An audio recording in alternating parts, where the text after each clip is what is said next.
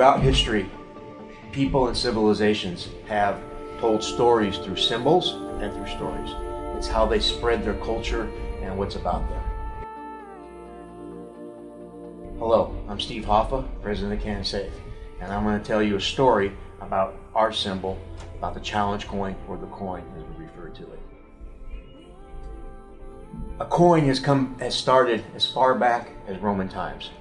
Soldiers after a battle would provide would, would receive their daily pay. If they did a good job in battle, they would receive a special coin that was marked different. They could cash it in on wine and women, but usually they kept it as something very personal because it meant part of their unit. So that's some of the earliest histories that we know from a coin.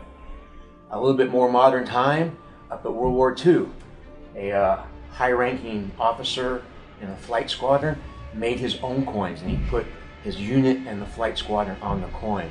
And during that time in World War II, a pilot crashed into Germany. He eventually escaped. And as an escape, he was captured by the French. Well, on his person, around his neck, in a little leather bag, was a small coin, that coin. And through the interrogation, the French were ready to execute him. But one of the French officers noticed that coin and realized that the story he was telling was very true. So they spared his life and sent him back to his unit. A little bit more earlier, uh, Colonel Buffalo Bill Quinn in the Korean War minted a coin with the Buffalo Bill symbol and the 17th Regiment that he was part of. And he would give that coin out to his soldiers. So that's the earliest known time that we had where coins were minted. In World War II, right after World War II, many of the Americans started doing a German tradition which was called a pfennig check. A pfennig was the lowest denomination of the German currency at the time, a very small little coin. And in a bar or in a club, you would be challenged with a pfennig where they would slap it on the table. And if you didn't have your pfennig, you would have to buy the beers for that person for challenge. So that's where the challenge part started. In, in Vietnam, special forces started minting coins, of which I was part of for 20 years. And that's where a lot of the military challenge came, what people understand is the challenge coin. You would have that no matter where you were, you always had to have your coin with you. So it represented the esprit de corps, it represented the camaraderie you had with that particular unit. And you always had to have your coin. And if you didn't, you usually had to buy beer or you had to do some sort of task that was not very pleasant. So that's where a lot of the challenge coins came from. You'll see in modern day, challenge coins are used by lots of different people, lots of different organizations, companies, and things like that. Even the president, secretary of defense, they have challenge coins. And theirs is usually passed by a handshake. He'll have them in his hand, he'll handshake them to the individual that's getting it. It's a very high honor to receive one of those coins. And lots of people collect various coins. So that's the general history on a challenge coin. How did we come about having a coin in our culture? Well, it started with when I was the gun vault salesman and starting on the cannon side. I wanted to have a coin that we could leave with our customers.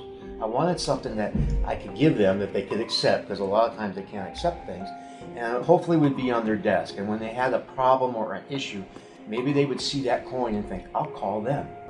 So that was my thought process. At the time, we had a great graphic artist designer, Claudia. So I started challenging Claudia to design a coin. And this was back in 2012. And she was a great artist. She made little symbols of deer and bears and eagles and all these different things. She would present a design to me. I'm like, you know, Claudia, I don't know what it is, but that's not it. It's a great drawing. You mean you did a good job. That's not it. Go back. We probably did that four or five times. I'm sure Claudia was very frustrated with me. She's like, yeah, can't get this right for this guy. What's wrong with him? What does he want? So she kept coming. She kept coming back. And I'm like, you know, we're not really a hunting company. So the animals didn't have a personal meaning. It was just some animal, and the idea was to have a different coin every year and different animals and stuff. So she finally came out with this coin. And this is one, if you can see that, is the handle, a five-spoke handle of a safe. And on it has our core values, which means a lot to us. As soon as I saw it, I knew that was it. That was the first coin. And from that, though, the purpose of the coin for us as a culture changed completely because it had the core values on it and it had our, our various different companies on it, we started using it differently because we could hold this in our hand and we could talk to our people about the culture and the core values and it meant something. So this was our very first coin, the one with the five spoke handles.